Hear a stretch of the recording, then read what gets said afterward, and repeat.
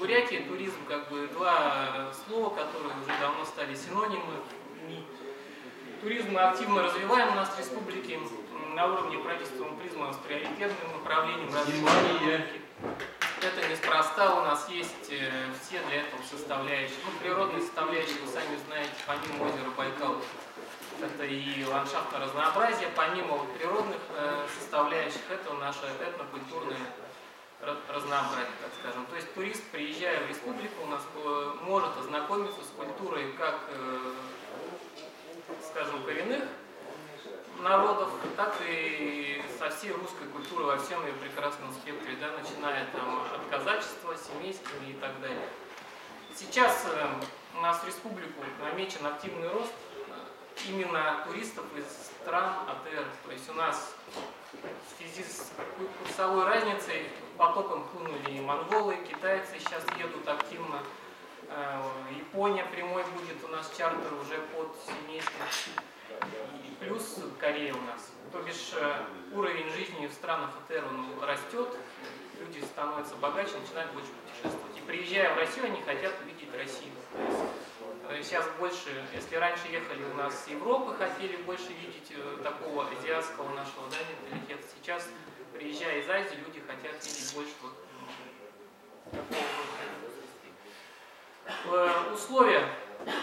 Условия у нас создаются э, в республике планомерно, уже начиная с седьмого года у нас активный рост туризма, мы развиваем инфраструктуру, это как бы был краеугольный камень всего э, инженерного развития республики, то есть э, реконструирован аэропорт, трансип развивается, дороги стали лучше. Так, вот. Ну, это то, что я говорил про разнообразие. Можно дальше листать помаленьку. Ну, озеро Байкал, это понятно, сюда люди стремятся со всего мира. Половина опрошенных туристов у нас э, высказывают пожелание побывать на Байкале. Так, дальше можно. На рынке туруслуг у нас сформирована уже такая сеть. У нас очень много турагентств, туроператоров, э, 23 целых, которые работают как на местах и на выезд. В общем, фирм, компаний, занимающихся туризмом, более 100 в республике. Помимо этого есть э, ассоциации, активно развивается у нас сельский туризм, это гостевые дома. Так, можно дальше. Так, поговорить можно там за уважаемые. Следующий слайд. Можно? Слышно вас очень сильно. Вот показатели вы видите, что, допустим, взять 10 год, это даже 500 тысяч не было, 16 год это э, конец года, да, мы уже наблюдаем через две недели Новый год, мы уже перевалили за миллион. То есть вот эту планку, установленную миллион туристов, мы покажем в этом году. Следующий у нас как бы приз, там планочка, это 2 миллиона туристов, сами понимаете, это очень большая цифра. Виды туризма, которые у нас в республике развиваются, ну это все, вот, вот от рыбалки, охоты, заканчивая агротуризмом, где люди просто живут в домах, занимаются традиционными видами так, дальше можно. Э, лечебно-оздоровительные – это наши знаменитые источники лечебной грязи и так далее. Ну, все про них наслышаны. Единственный тут минус, который хочется отметить, это моральный взнос основных фондов. То есть наши курорты стараются, не знаю, наоборот, не стараются развивать эту материальную базу, и мы немножко просели в этом моменте. Религиозный паломнический туризм тоже все больше привлекает. Почему ему Э, отдельный спектр выделяем. Это связано с тем, что мы стараемся всеми силами сделать туризм ежегодным, круглогодичным. То есть у нас, сами понимаете, летом тепло, хорошо и уютно, и туристы едут активно, а зима и межсезонье у нас немножко проседают, даже не немножко, а значительно. Чтобы вот этот момент преодолеть, мы стараемся стимулировать предпринимателей, чтобы они создавали объекты инфраструктуры круглогодичного действия. И именно виды туризма развивать круглогодичные, одним из которых вот такой. Так, следующий слайд. Ну, этнотуризм, тут все понятно. Как раз таки можно акцентировать ваше внимание, что здесь вы можете свою достойную большую нишу занять. Вот у нас а, хорошо семейски себя показали, то есть э, начали продвигать вот бренд с 2007 года чем могли, помогали, и теперь уже у них налажен турпоток как бы постоянно. То есть у них нет такого, что надо кого-то звать. Они даже уже, допустим, Тарбогатая, Любовь Федоровна занимается пластинно этой темой. Даже уже активной рекламной кампании не потому что уже все знают, уже едут. Экологический туризм – это тоже и Байкал, путешествия, прогулки на конях, которые, кстати, у нас достаточно проблематично организовать в республике, хотя, казалось бы, поголовье э, коней-то у нас есть, и оно значительно, и вроде как это традиционно, наши виды. Но, тем не менее, если вы начнете сейчас искать тур организовывать именно конный, это будет большая проблема найти, кто бы вам сделал это, потому что конь должен быть объезженный, должна быть очень большая проблема. Сами пытались, вот даже на работе хотели организовать конный тур, попробовать, что такое. Одного нашли предпринимателя, он в день берет 7 тысяч рублей, чтобы 30 километров на коне прокатить. Представляете, какие можно хорошие деньги на этом зарабатывать? Так, следующий. Ну, гостевые дома. Здесь целый пласт работы такой предстоит. То есть мы-то хотим, чтобы они были видны в таком красивом виде. Но сейчас много индивидуальных предпринимателей, которые строят дом под ИЖС, ну как бы для себя, а по сути принимают туристов. Вот Росреестр в этом году делал рейды и выявлял такие. вот. Туристические маршруты. Это еще одно направление нашей работы, то есть одно дело как бы создать условия, другое дело это завернуть в оболочку какой-то фантик. Вот туристский маршрут, он должен как бы, это, это пакет, который вы продаете туристу. Мы вот э, ну, потенциально разработали 122 турмаршрута, сейчас у нас самый разрекламированный маршрут это легенда Бурятии. Ниже будет слайд про него, можно ниже еще спуститься на слайд. Так, это то, что мы достигли в 2016 году. Так, дальше слайд. Это инвестиционные проекты. Сейчас я остановлюсь на них поподробнее. То есть, э, чтобы аккумулировать все вот эти усилия республики на создание инфраструктуры, вы понимаете, э, что это нужно как-то под эгидой федеральных средств делать. Потому что у нас в республике не, так, такая она богатая, мы дотационные, Э, нефти у нас нету, производство нас, сами понимаете, тоже ну, растет, но тем не менее дефицит бюджета он как бы имеет место быть.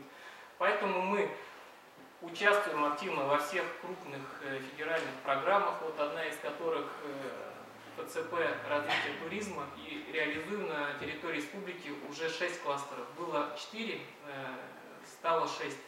Что это за проекты? То есть берется участок территории, формируется земельный участок, за счет государства строится инженерная инфраструктура.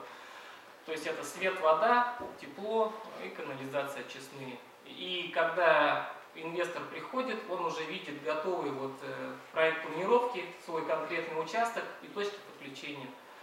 Это очень нужные как бы, шаги и вещи, потому как у нас большая проблема вот с этой инфраструктурой. И мы за счет вот, э, большей части федеральных средств, ну и части республики, бюджет, э, рес- республиканского бюджета строим вот, такие крупные проекты реализуем. Вот Кабанский район Подвиморья, Нхалук, Сухая, там, если сравнивать 5 лет назад, что было, и сейчас, это две большие разницы. То есть современные уже объекты появляются. Тункинской долине также Кяхта прямо на границе с Кяхтой, вот АТК Кяхта создается. То есть, э, выезжая с мапа, с левой стороны, вот эта площадка, которую вы можете видеть, это вот под автокластер. Инвесторы уже имеются, они как бы с ними заключены соглашения, будет развитие. То есть это вот те точки роста, вокруг которых и будет э, туризм в республике развиваться. Это, вы видите, такой каркас. То есть все интересные туристские м, места у нас задействованы. Вот Байкальская гавань, прямо следующий слайд я отдельно выделил. Э, участ- Там пять участков на самом деле. Вот мы вам, я вам сделал фотографии только одного участка Турка, потому что у нас он готовый. То есть, по сути, сейчас прям, да даже не сейчас, два года назад мог бы инвестор зайти, начать строить свои объекты, подключаться ко всему. Тепло есть, электричество есть, вода есть, очистные сооружения есть. Подключение. Э, это в рамках проекта, там точки подключения к участку подводятся, то есть э, по тарифу устанавливаем республиканской службой по тарифу.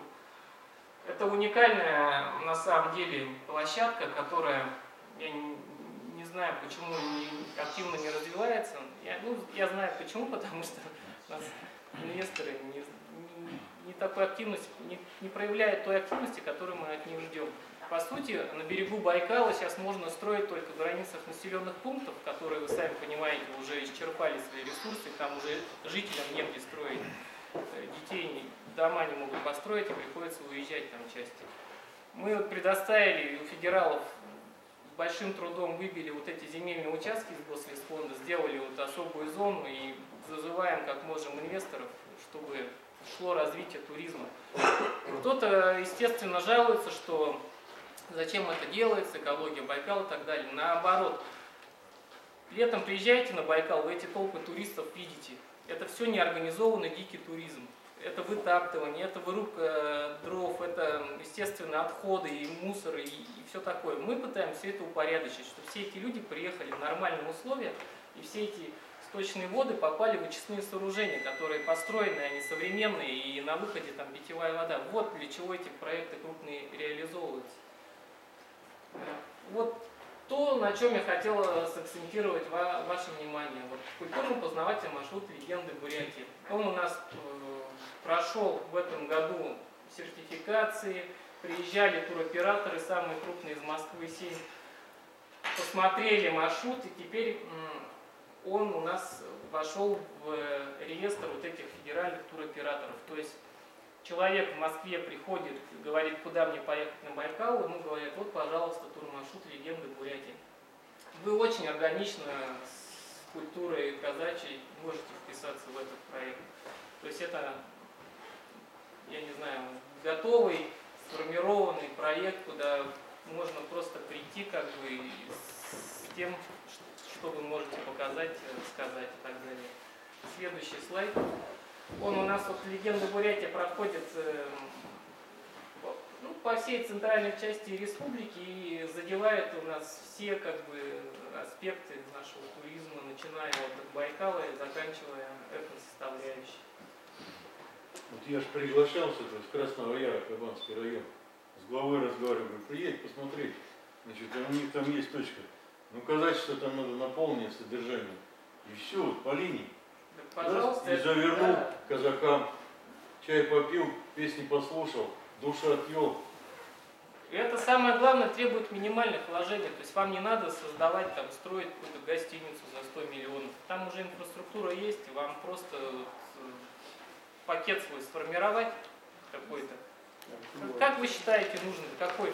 Начните с малого, там, потом больше будет, там, и, и до коней дойти. Вот по линии Тарабагатая. Значит, есть сейчас в районе Волгинска казаки у нас там разрозненные. В Заиграйском направлении. Да, в Волгинском вот э, главой сельского поселения Рогойского мы разговаривали, там они тоже планы прямо делать село казачье, ну, стилизованное для того, чтобы туристов принимать, потому как у нас даже, даже абстрагироваться от всяких иностранных туристов, э, дети, элементарно школьники, им съездить два места, по сути, сейчас можно вот так вот организованно, это Ацагат, э, бурятская да, культура и семейская культура Тарбагатая, где готова. Вот, они, то есть, приезжают, у них э, готовый сформированный турпродукт, который они получают. Если они к вам приедут, это будет большой плюс погружения в историю. Как живые уроки, то, что мы сейчас с образованием прорабатываем, живые уроки, то есть э, дети, учащиеся, выезжают куда-то на площадку и смотрят все своими глазами. Это не историю по учебнику учить, а уже конкретно вот, погружение. Так, следующий слайд. Ну, международный туризм у нас, э, я его как бы останавливался, помимо вот легенды Бурятии, мы международные, часть международных маршрутов являемся, это Великий Чайный путь, там у нас яхта активно задействована, Улан-Удэ. Мы принимаем туристов из Китая напрямую по железной дороге, поезда, 8 поездов в этом году прибыло. Вот тоже ниша, пожалуйста, китайцы приезжают, смотрят республику и едут дальше в Иркутск. То есть мы в республике еще на самом деле вот этот пик не совсем ощутили. Вот Иркутск, говорит, э, уже задыхается от китайских туристов. У них все гостиницы, какие есть, заполнены. То есть там любая, скажем, задрыпанная гостиница уже на год вперед под китайцев расписана. Потому что Это не связано с авиалинией? Это связано с тем, что Китай разбогатеет, и там миллиард человек, из них прилетают самолеты. А, вы имеете в виду, да, это проблема авиаперелетов, согласен, у нас есть, мы более того, ее пытаемся решать, и мы выиграли субсидированный авиаперелет Улан-Удэ, Санкт-Петербург. То есть он субсидируется с федерального бюджета. Но пока компании авиа не хотят э, летать почему-то, даже при том, что мы им доплачиваем из бюджета. То есть нужен постоянный турпоток. Когда будет постоянный турпоток, тогда авиакомпании скажут, да, мне выгодно возить людей. Пока что они больше наверху с- позиционированы, потому что там ну, турпоток больше, на самом деле. Но у нас тоже проблема-то решается, частота рейсов увеличивается и из Кореи, из Японии есть. Так, дальше. Следующий слайд можно. Вот детский туризм, за него как бы взялись прямо отдельным направлением, потому что э, то, что проводилось в советские годы, там перестройку было, естественно, пущено на самотек, вот пытаемся как бы повернуть время вспять и больше уделять детям времени, да, больше их погружать в историю, знакомить с республикой, потому что многие не знают, где какие районы, чем они знамениты.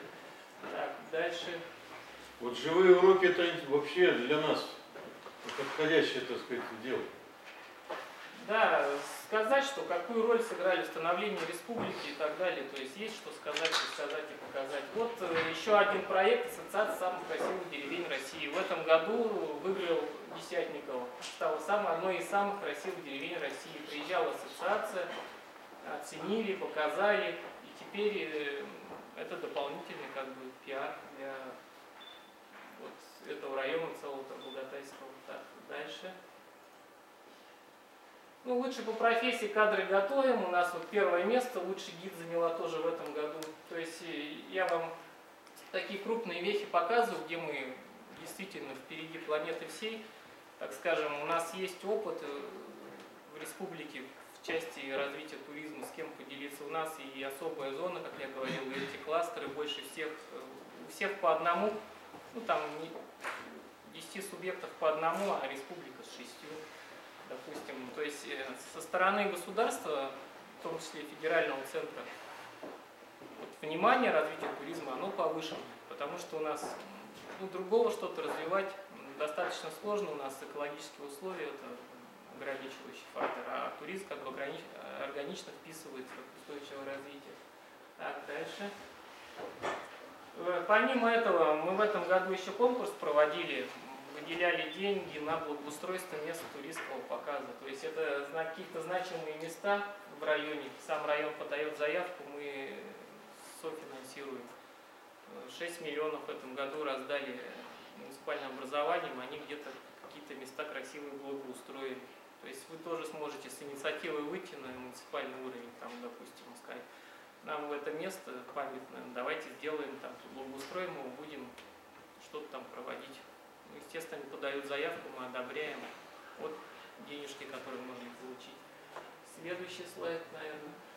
По нормативке у нас тоже все как бы хорошо, есть закон республиканский, есть постановление, есть ведомственные планы, то есть э, с точки зрения нормотворчества все отрегулировано.